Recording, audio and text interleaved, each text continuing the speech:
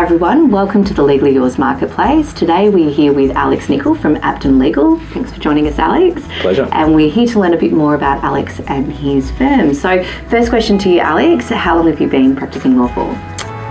About 12 years now. I um, started in 2006 doing my article clerkship at a little firm called BJT Legal. Okay, yes. And then from there, Um, so I went on to Aitken Partners, Yeah. um, and then on to Cornwalls, okay.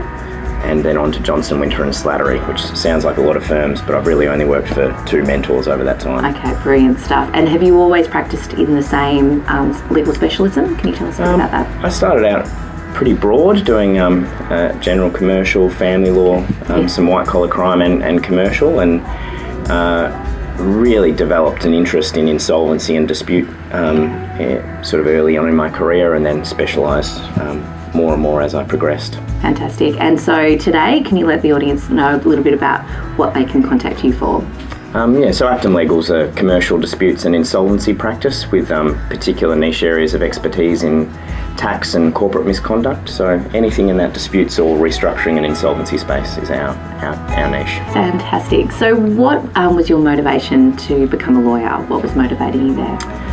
Um, struggle to think back that far, to be honest, but I think it was more just that I loved um, the English language and arguing and Okay. um, developing sort of a, um, yeah, d- really loved writing. I suppose was the uh, the initial reason, um, Yeah. and that, that got me into the law eventually. Fantastic. And now you get to argue and get paid for it, which is um, Exactly, exactly. brilliant stuff. And a little fun question to end the interview. If you could have a song playing every time you walk in the room, some people say it's horrendous, but um, imagine yourself in that space, what would that song be? Uh, I don't know whether I have a penchant for the dramatic, but I've got to go the Indiana Jones theme music. Oh, okay. We haven't actually had that one before. Oh, that's so, good. okay, that's great. And I could see you. Would you have the hat and the the Oh? I think I think the music does enough without any uh, without any You don't need the props. No, no props. I love it. Well, thank you so much for joining us. If you'd like a quick match or request a fixed fee quote with Alex from Aptum Legal, you can head to our website at legallyyours.com.au. Thanks for watching.